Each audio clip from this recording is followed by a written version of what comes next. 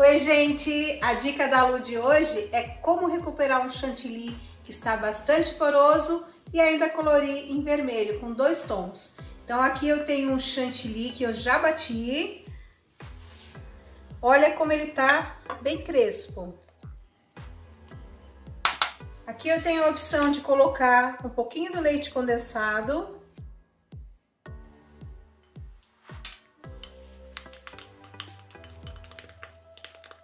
Aqui ele já vai ficar mais cremoso.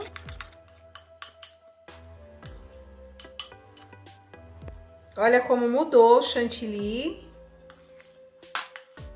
E agora eu vou fazer uma tonalidade de vermelho mais fechado, um vermelho bem escuro, próximo a um bordeaux. Então eu tenho várias cores de corantes, né? Eu vou começar colocando um pinguinho de cada cor. Esse aqui é um vermelho bordeaux. Aqui eu tenho um pink. Um pouquinho de preto, que loucura, né, gente? Mas é assim mesmo. Aqui eu tenho um amarelo. Um pouquinho de verde. Esse aqui é um verde oliva. Laranja. Aí eu vou dar uma misturada.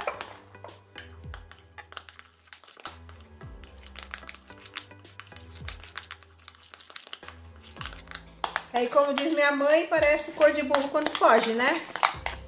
Exatamente isso. Então, eu quebrei a tonalidade, quebrei o branco, né? Com várias cores. E agora eu vou colocar o vermelho. Este vermelho é um vermelho morango. Aí o cliente pergunta, Lourdes, não vai amargar quantidade de corante? Olha, sempre um pouquinho fica amargo, mas aí não tem jeito. E vocês têm que avisar o cliente que quando for cortar o bolo, tirar um pouquinho do chantilly. Porque se vocês querem um bolo decorado com vermelho ou preto, não tem jeito.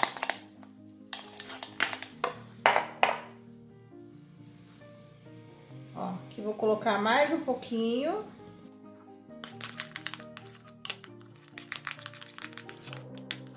Segredo também é deixar descansar por duas horas.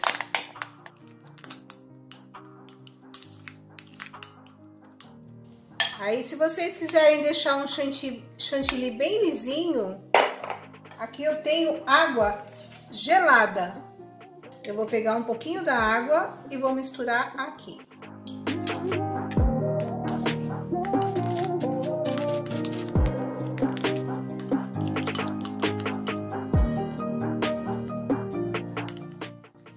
Prontinho o chantilly. Gente, ó, aqui eu coloquei um pouquinho mais de preto só para chegar na tonalidade bem vinho, bem escuro mesmo, ó. Tá? Ficou um vermelho bem, bem fechado, ó. Olha que lindo que ficou o chantilly. Gente, ó, aqui também o meu chantilly está bem poroso. Eu posso hidratar, se eu não tiver leite condensado, posso hidratar com água. Água bem gelada.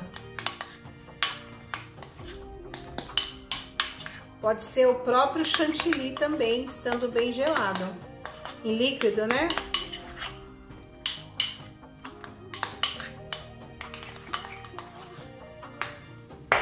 Agora vou colocar o corante, esse eu vou usar direto o corante vermelho.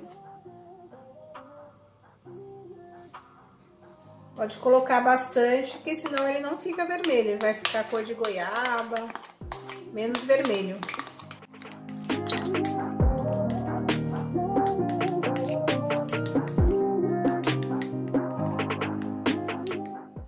Deixar um pouquinho mais, vou colocar um pouquinho mais de corante.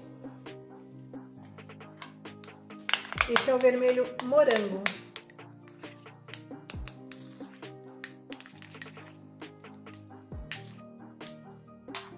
Eu vou colocar um pouquinho mais de água.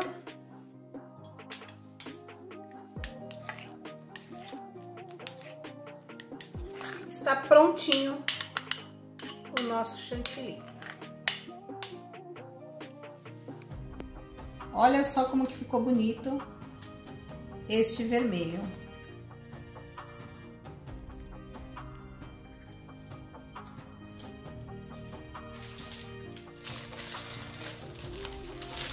Aqui é aquele vermelho mais fechado.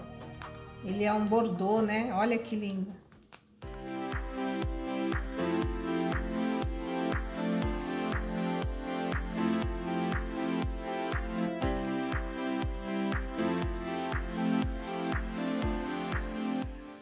Gente, esse chantilly que eu fiz vermelho, eu utilizei o chantipack da Puratos, tá? Então vocês entram no meu canal, que eu dei várias dicas de como bater o chantilly, deixar na, na consistência correta para fazer as rosas, como colorir, como chegar no vermelho utilizando o marrom, o chantilly de chocolate, enfim. Entra, curte, dê um joinha, inscreva-se.